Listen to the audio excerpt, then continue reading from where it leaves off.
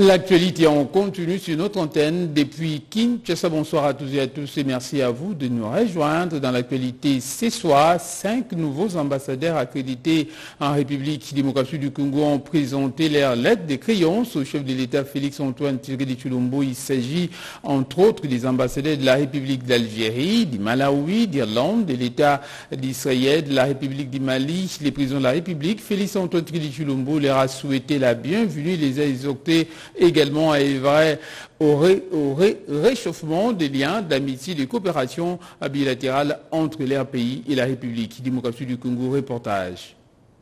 Comme le veut la tradition diplomatique, le détachement d'honneur de la garde républicaine était bien rangé devant le palais présidentiel pour rendre les honneurs aux cinq ambassadeurs extraordinaires et plénipotentiaires venus présenter leur lettre de créance au chef de l'État Félix-Antoine Tshisekedi Chilombo. Premier à passer devant la haie d'honneur, l'ambassadeur Mohamed Yaziz Bouzid, âgé de 57 ans et diplômé en sciences politiques, l'ambassadeur d'Algérie aura sa résidence à Kinshasa. Le Malawi sera représenté par l'ambassadeur Margaret Constance Kamoto en République démocratique du Congo. Chargée de redynamiser les relations entre Kinshasa et Lilongwe, Madame Kamoto aura sa résidence à Luanda. L'Irlande entend aussi établir une relation bilatérale solide avec le pays de Félix-Antoine Tshisekedi Chilombo. Voilà pourquoi ce pays sera désormais représenté en RDC par l'ambassadeur Mary O'Neill. La diplomate irlandaise aura sa résidence à Dar es Salaam en Tanzanie. En recevant les lettres de créance de l'ambassadeur Shimon Salomon, le président Félix Antoine Tshisekedi Chulombo vient sceller l'excellence des relations entre la République démocratique du Congo et l'État d'Israël. Le nouvel ambassadeur extraordinaire et plénipotentiaire de l'État d'Israël en République démocratique du Congo va résider à Luanda. Enfin, entre Kinshasa et Bamako, les relations sont au beau fixe. Monsieur Agibo Diallo a présenté ses lettres de créance en qualité d'ambassadeur extraordinaire et plénipotentiaire du Mali en République démocratique du Congo. Il sera basé à Brazzaville.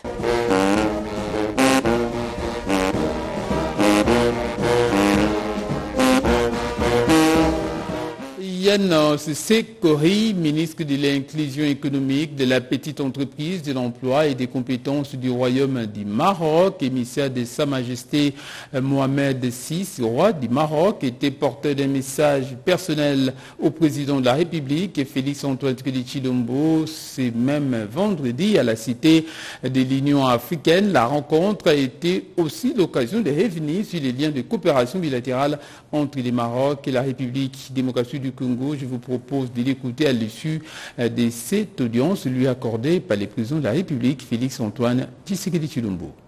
Honoré que Monsieur le Président nous ait accordé cette euh, audience en tant que euh, émissaire de Sa Majesté Mohamed VI, que Dieu l'assiste, roi du Maroc, pour délivrer un message personnel à son Excellence. Et naturellement, la rencontre a été l'occasion de revenir sur l'excellence des relations entre nos deux pays qui n'a d'égal que l'excellence et la fraternité entre Sa Majesté le Roi et Monsieur le Président. Et naturellement, euh, euh, le Maroc, comme d'habitude, est un pays euh, ami, frère à votre pays.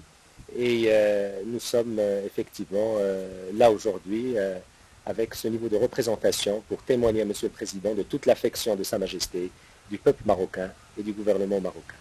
Le Royaume du Maroc euh, est un pays qui est ami à la République démocratique du Congo.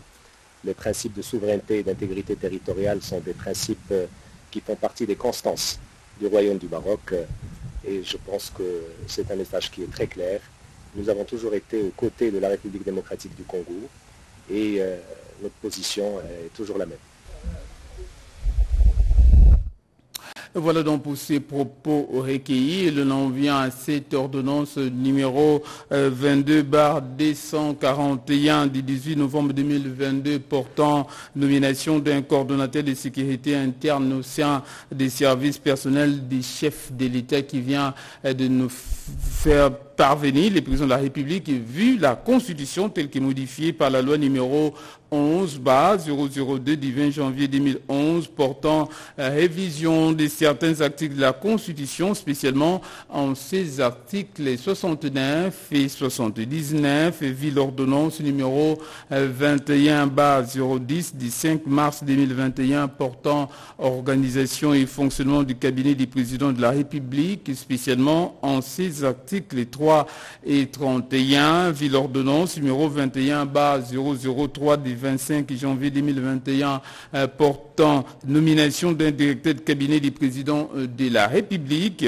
revu l'ordonnance numéro 19 012 du 6 mars 2019 portant nomination euh, des membres des services personnels du président de la République, spécialement en son article premier point C, vu la nécessité et l'urgence, article premier nommé coordonnateur de sécurité interne au sein des services personnels des chefs de l'État, messieurs Jacques Chibonda Tshisekedi, article D, sont abrogés toutes les dispositions antérieures contraires à la présente ordonnance. Article 3, le directeur de cabinet du président de la République est chargé de l'exécution de la présente ordonnance qui sort ses effets à la date de sa signature, faite à Kinshasa le 18 novembre 2022. Félix Antoine Tshisekedi chef de l'État, pour copie certifiée conforme à l'original le 18 novembre 2022 des cabinets du président de la République, Guylaine Niembo directeur de cabinet dans le reste de l'actualité, s'est tenu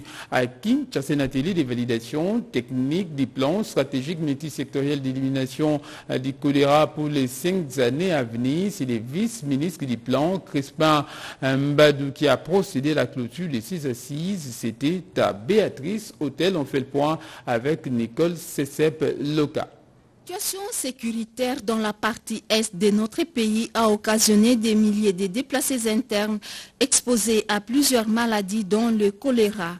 Cet atelier de deux jours a permis aux participants venus des différentes provinces d'émettre des avis et considérations qui seront intégrés dans le texte final du plan stratégique multisectoriel d'élimination du choléra en RDC, a indiqué Jeff Bafouambembe Bomanga, secrétaire exécutif du Comité national d'action de l'eau, de l'hygiène et de l'assainissement. Ce processus a été laborieux. Il a fallu que nous prenions conscience de l'importance de ces plans dans l'amélioration des conditions de vie de notre population, surtout celle de la partie est de notre pays qui est confrontée à des épidémies de choléra récurrentes pour que nous arrivions au résultat de ce jour. La représentante de l'OMS, Martinez, a pris l'engagement de porter haut la voix du gouvernement congolais pour la mobilisation des fonds auprès des partenaires techniques et financiers. Le vice-ministre du plan, Crispin Mbadou, représentant personnel du ministre d'État, Christian Mwando, salue la tenue de ces assises. C'est ici pour moi l'occasion, après avoir suivi attentivement les conclusions ici de ces travaux de féliciter chacun d'entre vous pour les efforts fournis afin de doter la République démocratique du Congo de nouveaux plans stratégiques pour les cinq prochaines années. C'est donc demain que les confessions religieuses et autres forces vives de la nation vont pouvoir organiser une marche pacifique devant dénoncer l'agression euh, qui fait l'objet de la République démocratique du Congo, Palin 23, appuyé par les Rwandais. L'évêque général Dodo euh, Kamba donne ici quelques précisions concernant la tenue de cette marche pacifique devant avoir lieu demain. On l'écoute. Le changement est intervenu parce que le gouverneur a pensé que ce n'était pas possible que l'on prenne la voie du 24 novembre jusque, et pour ne pas non plus utiliser l'avenir de le grand boulevard du 30 juin. Donc nous avons respecté euh, les consignes ou encore euh, l'itinéraire que nous a donné euh, le gouverneur de la ville. Nous resterons sur cette voie-là, tous ensemble. Ne restez pas à la maison, venez tous. Nous allons, pour toutes les confessions religieuses et les différentes organisations de la société civile sortons tous ensemble demain à 8 heures devant l'esplanade du Palais du Peuple. Nous prendrons l'avenir des Huileries. Nous allons continuer. Nous irons jusque devant l'INRB et peu avant l'entrée euh, de la Régie des eaux. C'est là que nous allons nous arrêter pour lire les mémos et annoncer le message. Une petite délégation ira jusqu'à la MONESCO pour passer et déposer les mémos et parler de vive voix. Je rajoute à cela que cette marche est organisée en soutien aux forces armées de la République démocratique du Congo, également chef de l'État en rapport à cette agression qui fait l'objet de la République démocratique du Congo par le 1-23 appuyé par les Rwandais. Dans le reste de l'actualité en mission d'itinérance dans les districts de Tchangou, des directeurs provincial de l'enseignement primaire, secondaire et technique, a visité quelques établissements scolaires de sa juridiction. Sur place, il a procédé également à la fermeture de certaines écoles non viables et ne respectant pas les normes. On fait le point avec Anastasie Dumbo.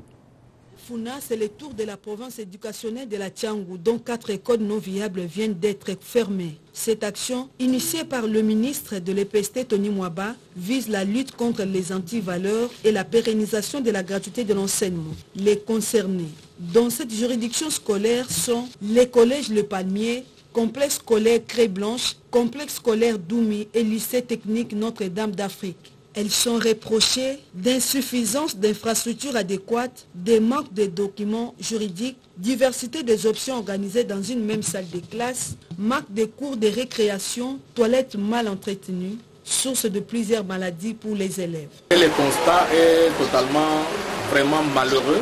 Vous avez constaté dans certaines écoles où nous sommes passés, en dehors du bâtiment peut-être, mais les enfants sont confinés, plus de six options dans la même salle depuis la rentrée comme ça. Ici où nous sommes, par exemple, chez les apôtres, c'est chaque année que lui change d'identité. Vous sortez dehors là, d'ailleurs, nous sommes sous la pluie, mais vous allez constater que le mur là, le fond des écrits, vous allez trouver les apôtres l'année passée.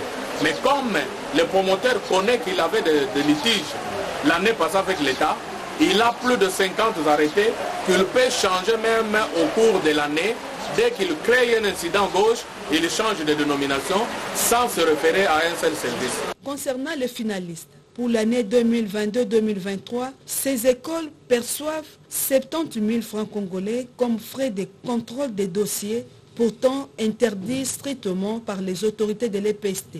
Cette descente de ce jeudi 17 novembre a permis au PROVED et à l'IPP de faire un constat amer. Cette itinérance se poursuivra dans d'autres provinces éducationnelles de Kinshasa. Et plusieurs jeunes de la capitale viennent d'être outillés sur les outils numériques également, euh, sur l'entrepreneuriat. On voit cela dans ce reportage signé Diane Balaka.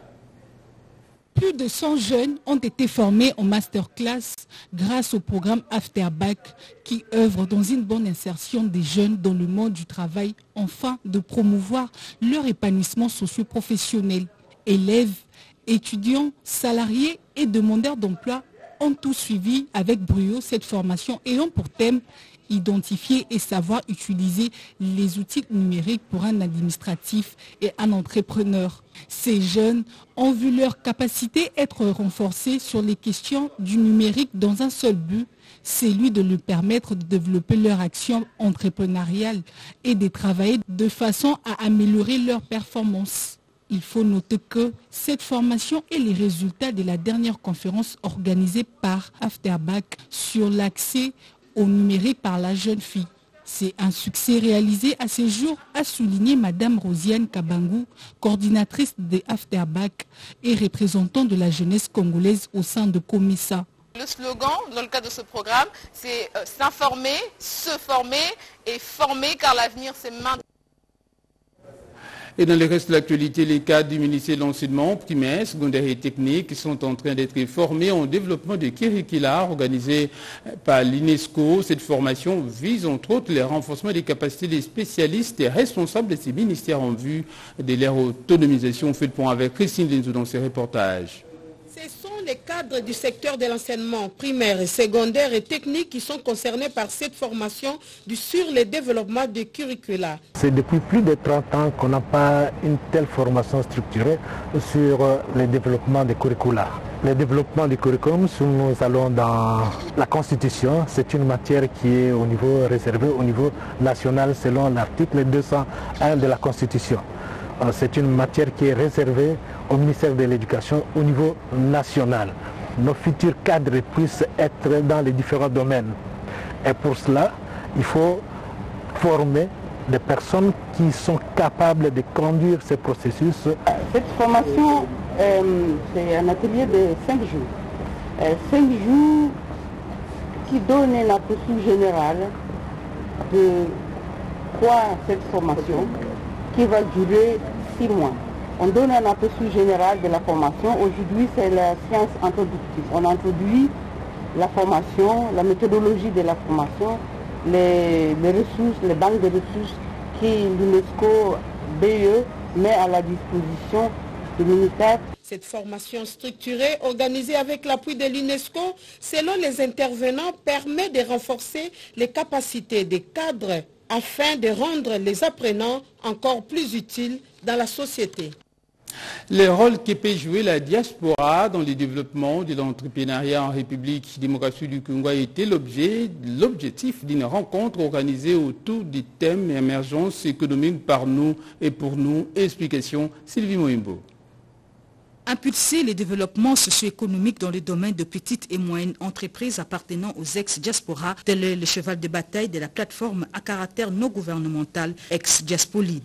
L'entrepreneuriat par nous et par tous, c'est le thématique débattue au cours des grands rendez-vous des ex-Diaspolide Connect 3. L'objectif étant de connecter davantage le PME appartenant aux personnes issues de la diaspora tout en mettant l'accent sur le secteur porteur d'affaires et surtout les stratégies à mettre en place. À l'issue de jeux questions-réponses, des recommandations pratiques étaient formulées en vue de cibler les enjeux prioritaires en matière de développement socio-économique des bases et la structure des soutiens aux actions des chefs de l'État dénommé la Conscience nationale congolaise pour l'action et le travail poursuit son désemparé, son extension à travers la ville de Kinshasa. Cette fois-ci, elle vient de s'installer au quartier euh, Matadi Mayo. On voit cela dans ces reportages.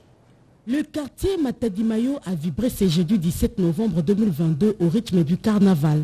Le jeune Congolais réunis au sein de la Conscience nationale congolaise pour l'action et le travail ont procédé au lancement officiel des activités de la Fédération de Kinshasa. Tout a commencé par un point de presse pour éclairer l'opinion publique que cette structure soutient à 100% la vision du chef de l'État Félix Antoine Tshisekedi Chilombo, comme l'a souligné le président national Natamu Sunda. Par la suite, ils ont parcouru les avenues du quartier Matadi Mayo où une foule immense les attendait. Lors du meeting animé par la circonstance, Pistis Mbala a demandé à la population de faire confiance au chef de l'État, Félix-Antoine Tshisekedi Chilombo, et surtout à la CONACAT qui est engagée dans la dynamique du changement pour le développement du pays. Les préoccupations lui soumises par les habitants de ces quartiers en rapport avec les érosions et l'insécurité seront prises en compte par des solutions idoines. Le président de la République, Félix-Antoine Tshisekedi Chilombo, a présidé ce vendredi la réunion du Conseil des ministres. Plusieurs points ont été abordés et examinés au cours de cette rencontre. Voici les comptes rendus faits ici par la ministre de la Culture, Art et Patrimoine. On l'écoute.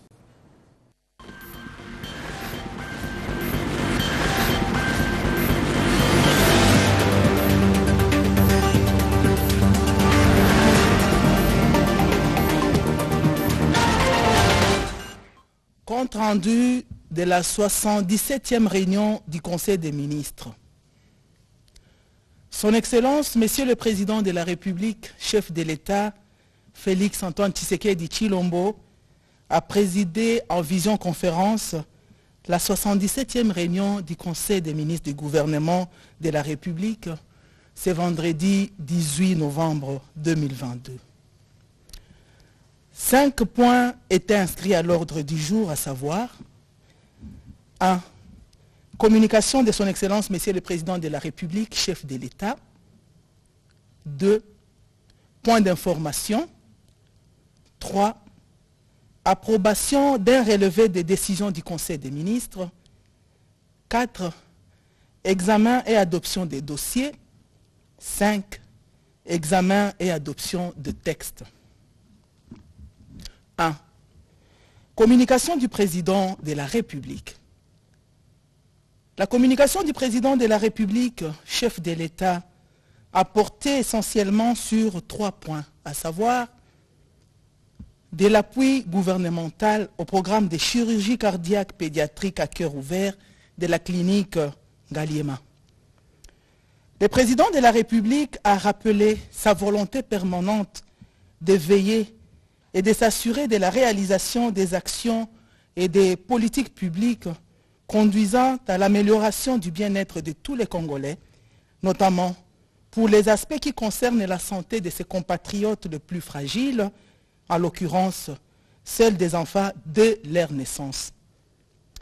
S'appuyant sur la programmation par le Centre de chirurgie cardiaque pédiatrique de la clinique Liema, des 150 opérations de chirurgie cardiaque pédiatrique à cœur ouvert pour 150 enfants dès janvier 2023, il a, encouragé le gouvernement à accélérer la mise en œuvre du protocole d'accord signé le 31 mars 2022 entre le ministère de la Santé publique, Hygiène et Prévention et l'association sans but lucratif Chirurgie pédiatrique en Afrique, CHIRPA en SBL en sigle.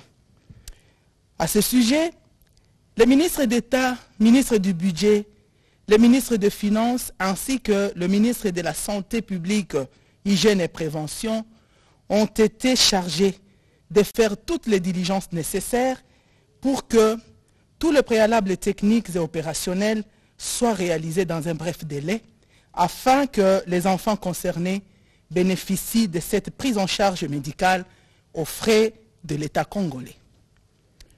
Un rapport circonstancié des ministres précités, chacun en ce qui les concerne, est attendu quant à la matérialisation de cette recommandation lors du prochain Conseil des ministres. Du rôle des mandataires des entreprises du portefeuille de l'État, des établissements et des services publics. Abordant ces points, le président de la République a insisté sur l'impérieuse nécessité pour les mandataires publics désignés à différents postes et constamment dans l'exercice de leurs fonctions une conduite managériale qui repose sur la bonne gouvernance. Il a rappelé qu'à son entendement, chacune de ces entités quel que soit son objet social, sa taille, sa localisation géographique, est appelé à jouer un rôle crucial dans le développement socio-économique de notre pays. Ainsi a-t-il attendu de tous les mandataires un comportement hautement professionnel dans l'exercice de leurs fonctions, dont les résultats du travail quotidien devront se manifester notamment par l'amélioration de la qualité des prestations et des services rendus aux usagers par la réalisation de leur objet social, le respect des obligations sociales envers les travailleurs, la transformation réelle du potentiel d'exploitation et de production des actifs de tout genre, l'atteinte des seuils de rentabilité afin d'avoir des marges de trésorerie positives pour accroître leurs actifs et leurs capacités contributives au budget de l'État. Pour le président de la République, les insertions publicitaires et les interventions médiatiques intempestives des mandataires publics ne constituent en aucun cas un gage de performance managériale.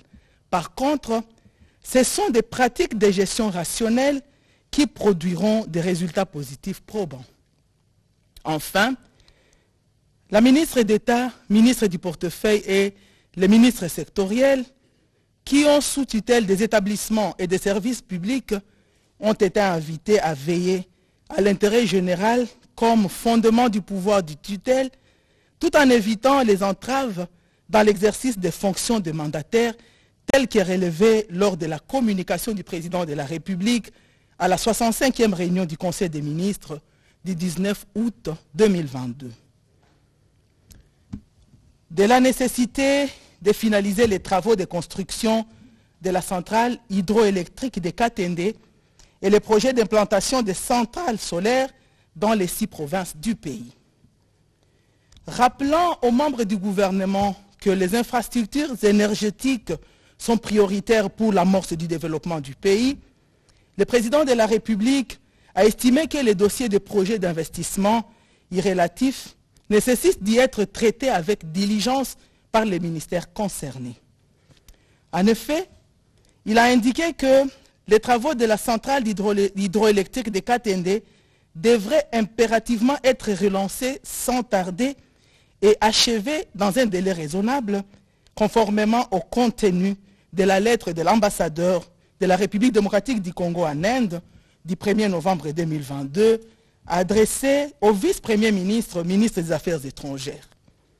La position de notre gouvernement à la partie indienne devrait être donnée en toute urgence.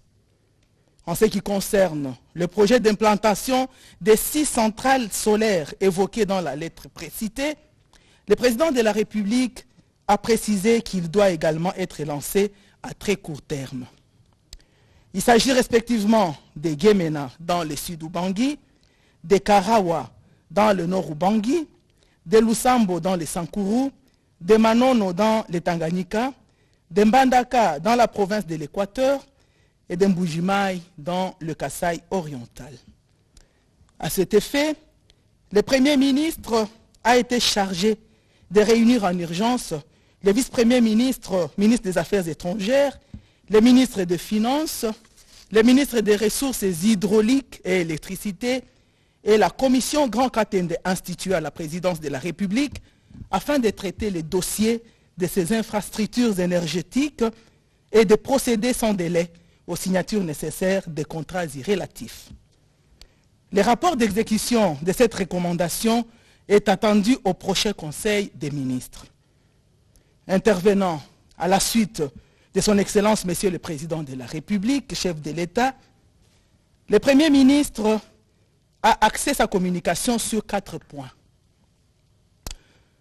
Dans un premier temps, il a informé le Conseil de sa participation au 18e sommet de la francophonie prévu les 19 et 20 novembre 2022 dans la ville insulaire de Djerba, où il représente son Excellence, Monsieur le Président de la République, chef de l'État.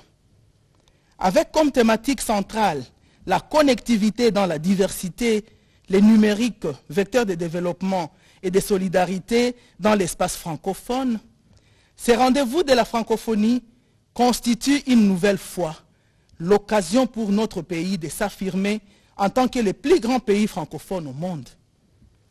Fort de cette position, la participation de notre pays au 18e sommet de la francophonie sera ainsi l'occasion de rappeler à toute la communauté francophone les valeurs au fondement de son existence et de son fonctionnement. Ces valeurs sont celles de la démocratie, de la paix, de la sécurité et de la solidarité entre le peuple et de la liberté, y compris la liberté d'expression. À l'égard de toutes ces valeurs et de ces positions, des principes, à la fois philosophiques et politiques, la République démocratique du Congo, par sa voix, entend demander à tous les États membres de cesser de soutenir les mouvements et groupes armés antidémocratiques qui vont toujours à l'encontre de l'idéal poursuivi par la communauté francophone. C'est le cas du Rwanda qui continue de soutenir les groupes terroristes M23. Au nom du président de la République, chef de l'État, le Premier ministre va également réaffirmer la détermination de notre pays à organiser les 9e Jeux de la francophonie prévus au mois d'août 2023 à Kinshasa. Dans un deuxième point, le Premier ministre a informé le Conseil d'avoir tenu dans la semaine qui s'achève plusieurs séances de travail, notamment une importante réunion de sécurité à laquelle ont pris part des membres du gouvernement, les chefs d'état-major général de FARDC, des officiers militaires et policiers, ainsi que les responsables des services de renseignement. Systématiquement, ces réunions ont passé en revue la situation sécuritaire, opérationnelle et humanitaire dans la partie est de notre pays. Il a été noté que la mobilisation de notre peuple contre les M23 et les Rwandais n'aura jamais été aussi dense et forte dans tout le pays. En effet, à travers des manifestations populaires et des prises de position publiques, le peuple congolais, comme un seul homme, ne cesse d'exprimer son attachement à l'intégrité du territoire national et sa fidélité au chef de l'État, commandant suprême des forces armées. Le gouvernement de la République, quant à lui, continue de mettre à la disposition de nos troupes engagées au front toutes les ressources nécessaires à l'accomplissement de leurs nobles devoirs. Troisièmement, le Premier ministre a informé le Conseil d'avoir réuni des responsables de la MONUSCO et des membres du gouvernement de la République le 15 novembre 2022 pour une séance d'évaluation relative au plan de retrait de la mission onusienne en République démocratique du Congo. Le gouvernement a réitéré sa position quant à la réduction des délais pour le départ de la MONUSCO. Il demeure toutefois disposé à travailler avec la mission onusienne jusqu'au jour de son retrait effectif, et cela conformément à la fête des routes mise en place des communs accords. Pour terminer, le Premier ministre a indiqué que, dans la perspective des fêtes de fin d'année, le gouvernement de la République examine en réponse à la requête de la Fédération des entreprises du Congo, FEC, un moratoire sur toutes les missions des contrôles économiques, fiscaux et douaniers sur une période donnée à déterminer.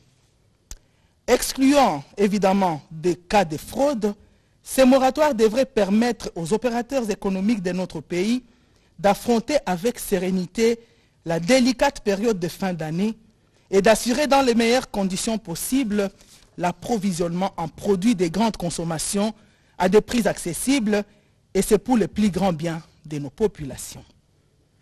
Les membres du gouvernement ainsi que les services de l'État concernés par cette mesure seront dûment instruits à cet effet dans les tout prochains jours.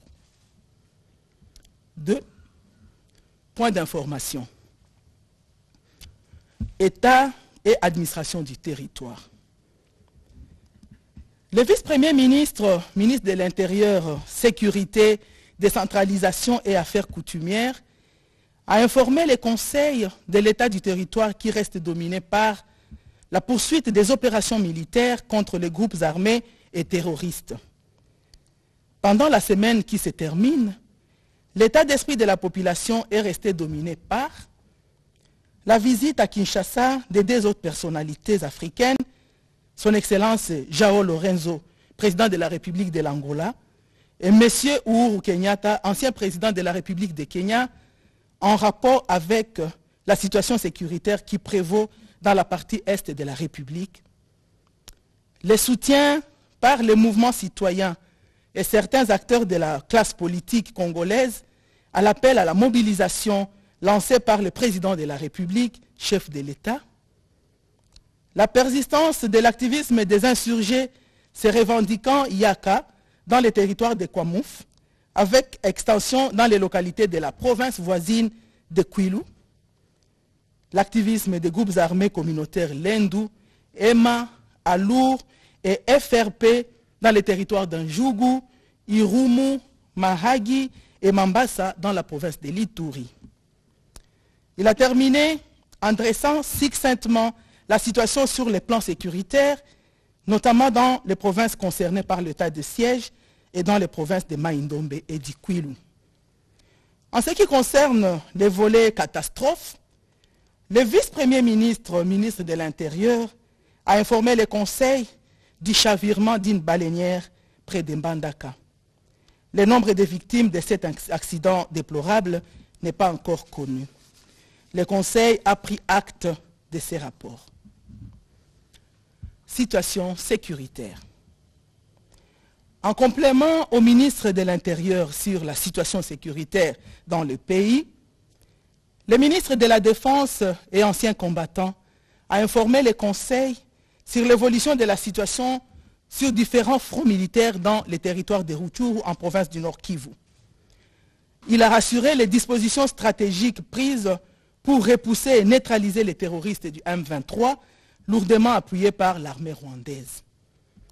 Dans les territoires de Béni, le ministre de la Défense et ancien combattant a indiqué que les forces de l'ordre ont mené des actions ayant abouti à la récupération de plusieurs équipements et matériels militaires des mains des groupes armés et des forces négatives, principalement l'ADF-MTM. À l'ouest, a-t-il rassuré, la situation à Kwamouf est sous contrôle, bien que l'on observe la migration des assaillants vers les entités environnantes hors la province de Maïndombe. Par ailleurs, il a informé les conseils d'avoir signé des arrêtés ministériels organisant le fonctionnement du dispositif de la diplomatie de défense en tenant compte des instructions du président de la République et des recommandations du vice-premier ministre, ministre des Affaires étrangères. Ainsi, il sera procédé incessamment à la désignation et à l'affectation des attachés de défense et à la reconnaissance des fonctions militaires assimilées exercées par les membres des forces armées de la République afin d'être présents dans les concerts des nations dans les volets de défense. À la suite de l'appel du président de la République lancé lors de son dernier message à la nation, a noté le ministre de la Défense et ancien combattant, les centres d'instruction reçoivent déjà leur première vague de recrues et ont répondu à cette mobilisation décrétée par les commandants suprêmes. Il a également signalé la manifestation d'intérêt pour certains euh, patriotes civils comme combattants des groupes armés en attente du processus PDDRCS à appuyer le FARDC dans la résistance contre les agresseurs. Une étude préalable sera menée et une organisation crédible pour éviter tout retournement devra être mise en place. Le Conseil a pris acte de ces rapports. Situation sanitaire dans les pays. Le ministre de la Santé publique, Hygiène et Prévention a informé les conseils sur la situation sanitaire liée à la pandémie de Covid-19. Comparé à la semaine épidémiologique précédente, la tendance à la 45e semaine est marquée par une hausse de l'incidence des cas. 351 cas contre 232 cas de la semaine 44. Il a été noté une hausse du taux de positivité de test de 5,45% à 7,4% et une baisse des nouveaux cas importés qui passe de 6 à 3. Trois décès ont été notifiés au cours de cette dernière semaine, dont un décès à Kinshasa, au CIK, et deux au Congo central, un dans la zone de santé de Boma et un au CTCO Moanda. La létalité est à 1,45%. L'observance des mesures barrières, la vigilance et la vaccination demeurent vivement recommandées. Le ministre de la Santé publique, Hygiène et Prévention a également fait le point sur d'autres maladies épidémiologiques qui sévissent dans le pays, notamment la rougeole, le monkeypox et le choléra, et dont la situation est sous surveillance. Le Conseil a pris acte de cette note d'information. Banditisme urbain dans la ville-province de Kinshasa. la ministre d'État, ministre de la Justice et garde de Sceaux a informé le Conseil sur un nouveau type de banditisme qui écume pratiquement tous les grands centres urbains de notre pays, avec cette particularité pour celui pratiqué dans la ville-province de Kinshasa, qui prend des proportions inquiétantes. En vue d'endiguer ces fléaux, plusieurs, solutions ont été expérimentées, notamment celle du transfert de ces hors-la-loi dans les centres de production alimentaire de Kanyamakasisi. Cette pratique qui a produit de bons résultats nécessite d'être renforcée par des décisions de justice irrévocables. Par ailleurs, le ministre d'État, ministre de la Justice et garde de Sceaux soutient que l'intervention de la justice est la voie royale pour stopper à temps ce banditisme urbain qui, si l'on y prend garde, risque de constituer une menace sérieuse pour la paix et la tranquillité de nos concitoyens. Elle a dévoilé au Conseil la première cartographie criminelle établie par la police judiciaire de parquet qui situe le foyer de délinquance à Kinshasa. En attendant d'entreprendre des réformes plus profondes sur les plans juridiques et judiciaires, elle a préconisé la tenue des audiences foraines et en procédure de flagrance qui apparaît pour l'heure une réponse appropriée pour dissuader tous ces délinquants. Ce qui aura pour effet de pousser ceux de leurs compères non encore appréhendés par la justice à réfléchir à deux fois avant de poser ce genre d'actes. Le Conseil a pris acte de cette note d'information.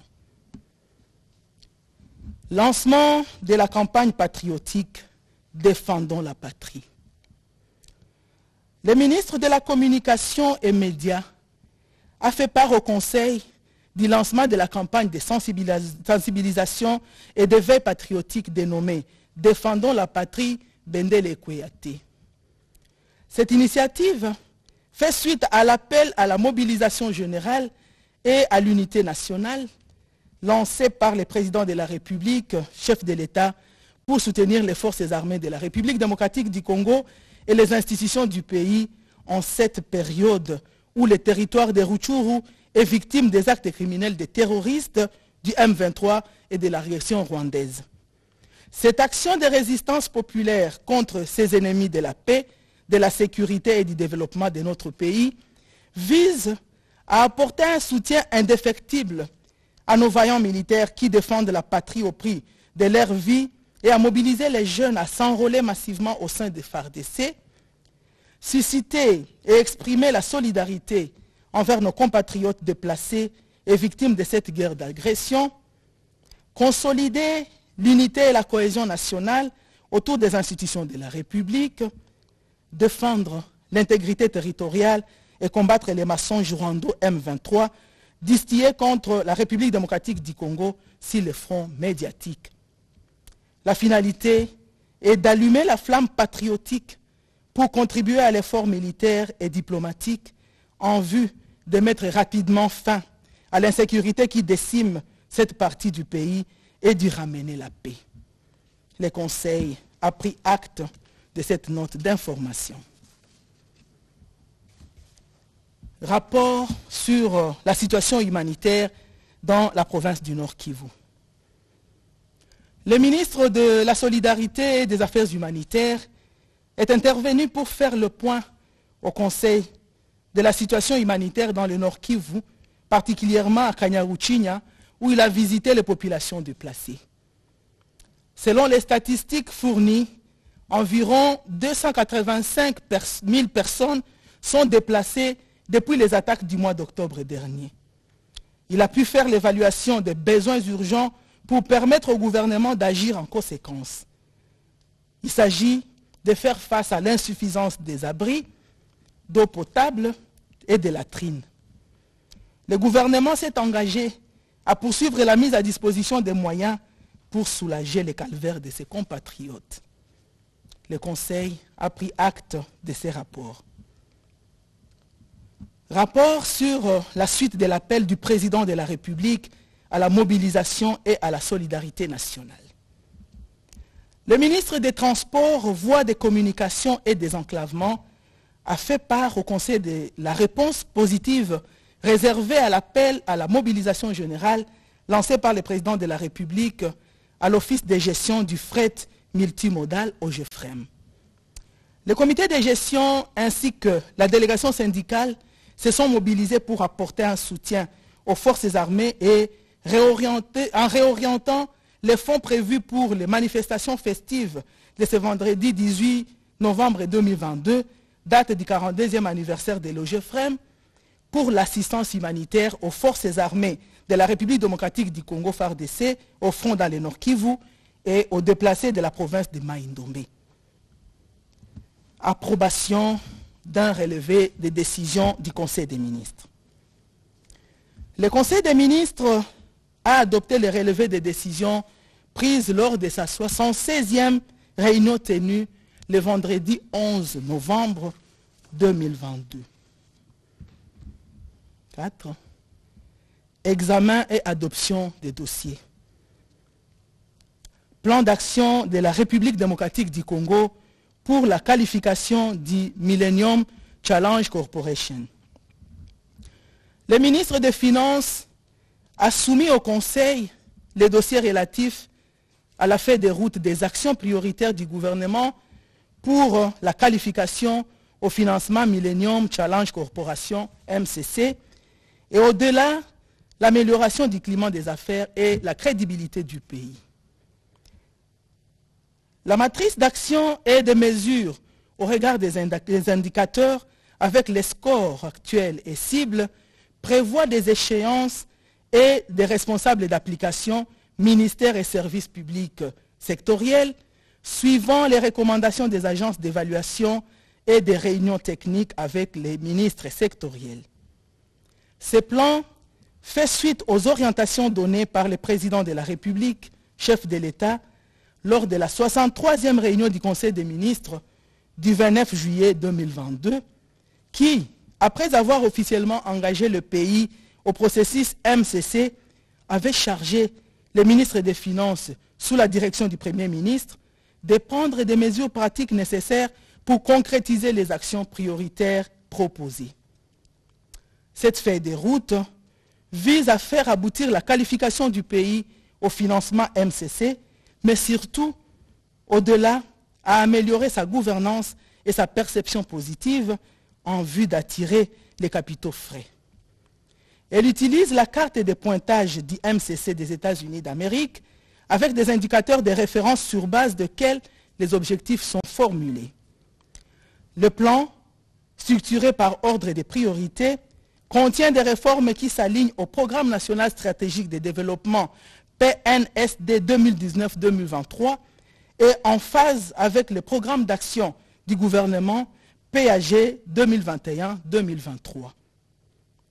Le ministre des Finances, dans sa mission de mobilisation des ressources externes et d'assistance aux autres ministères en la matière, apportera ses appuis et canalisera les efforts techniques pour le succès de ces processus sous la direction du Premier ministre.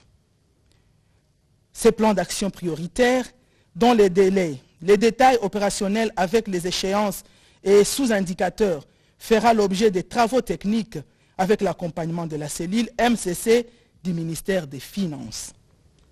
Après débat et délibération, le Conseil a adopté ces dossiers. Plan d'action national de la résolution 2250 sur la jeunesse, paix et sécurité de la République démocratique du Congo 2023-2026.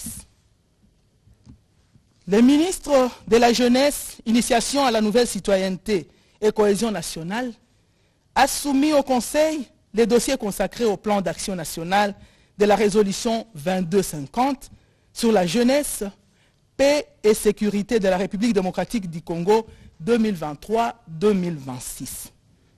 En effet, la résolution 2250 de 2015 du Conseil de sécurité des Nations Unies sur la jeunesse, la paix et la sécurité, CPS, est l'un des instruments internationaux qui reconnaît les rôles cruciaux joués par les jeunes dans le processus de paix à travers le monde.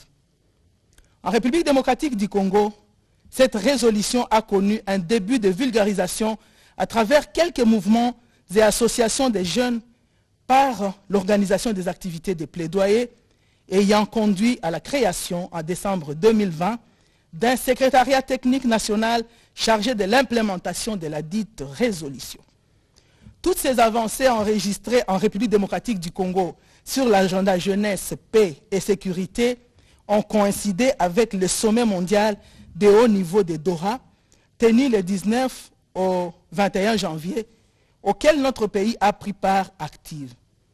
L'objectif dit sommet était de pousser les 38 États participants à prendre des engagements pour inclure davantage des jeunes au processus de paix et mettre en place des mécanismes pour faire avancer cet agenda au niveau national. Le plan d'action national est donc un document qui présente les détails des actions et des initiatives dans les domaines bien déterminés que le gouvernement devra entreprendre pour satisfaire les obligations contenues dans la résolution, a argumenté les ministres. Après débat et délibération, ce dossier a été adopté. 5. Examen et adoption d'un projet de texte. Projet de loi de ratification. Le ministre des Finances a soumis au Conseil pour examen et adoption le projet de loi de ratification de l'accord de crédit numéro 7216-ZR conclu en date du 10 octobre 2022 entre la République démocratique du Congo et l'Association internationale de développement IDA au titre de projets de résilience urbaine en situation d'urgence à Kananga, ayant abouti à l'octroi d'un financement de 100 millions de dollars américains. L'objectif de ces projets, censés se clôturer le 15 décembre 2027, est de protéger les habitations et les infrastructures essentielles affectées par l'érosion à Kananga et de renforcer la capacité du gouvernement et des organisations locales du récipiendaire en matière des érosions et planification urbaine résiliente au changement climatique. Après débat et délibération, ce projet de loi a été adopté. Commencé à 14 h la réunion du Conseil des ministres a pris fin à 16h30. Je vous remercie.